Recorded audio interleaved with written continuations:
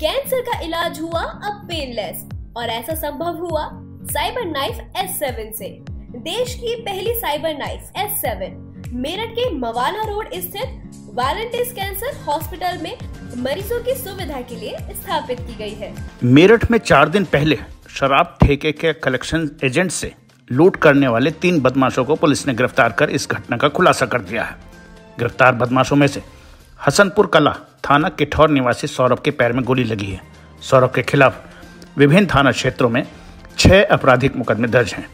उसके दो साथियों में हरित पुत्र कंवरपाल गुजर और मुनेन्द्र दोनों ग्राम मुरादगढ़ी थाना खानपुर बुलंदशहर निवासी शामिल हैं।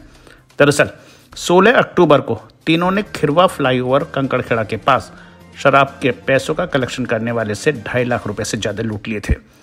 पहले देखिए रविवार की सुबह मुठभेड़ में घायल सौरभ को।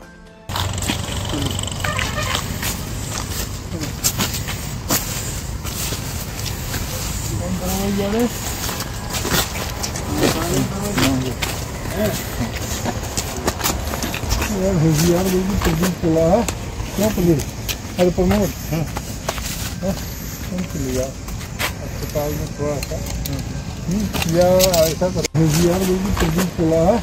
क्या पुलिस अरे प्रमोद। हाँ हाँ कौन चलेगा अस्पताल में थोड़ा सा। हम्म, या ऐसा कर। इस बारे में एसपी सिटी आयुष विक्रम सिंह ने मीडिया को आज यह जानकारी दी। देखिए थाना कंकरखेड़ा क्षेत्र में 16 अक्टूबर को एक लूट की घटना तारीख की गई थी।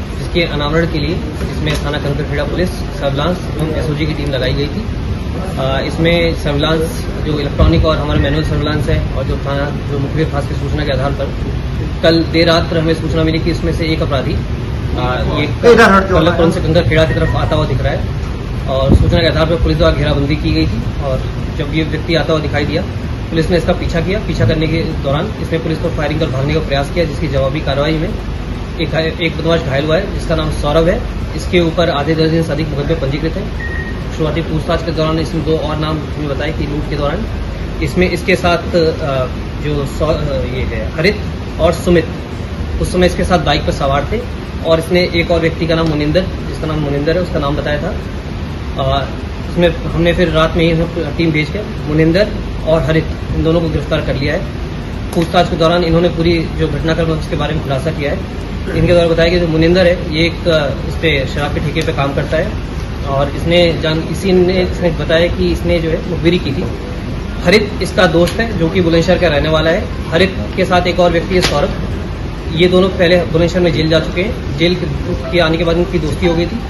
हरित को कुछ पैसों की आवश्यकता थी। इसने मुनिंदर से कांटेक्ट किया और इससे बताया कि उसमें कुछ पैसे की ज़रूरत है। तो मुनिंदर ने बताया कि कई- एक कलेक्शन एजेंट आता है, उसके पास कैश रहता है और उससे तुम पैसे ले सकते तो उसने इसमें, जिस दिन घटना हुई है सोलह तारीख के इसमें तो मुनिंदर ने इसकी मुखबिरी की थी।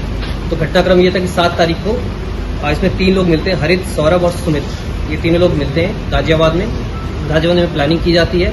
इसमें से एक व्यक्ति है अजय, जो इनको बाइक सप्लाई करता है। 16 तारीख को ये लोग एक प्रतापपुर में केमिकल फैक्ट्री है, जहाँ पे सौरभ काम किया करता था, वहाँ पे ये लोग मिले। उसके बाद ये लोग ठेके के पास आए। ठेके के पास से इन्होंने इसका पीछा किया है, जो इसमें वादी था।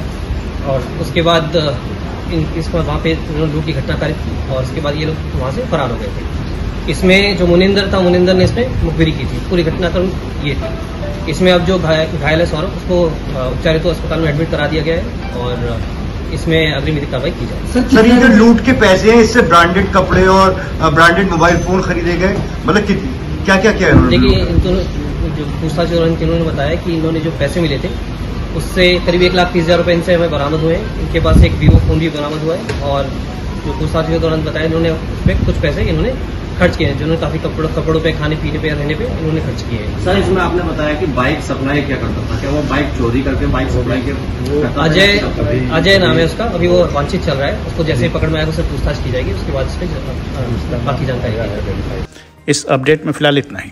आप देखते रहिए फ़र्स्ट बाइट डॉट टीवी नमस्कार।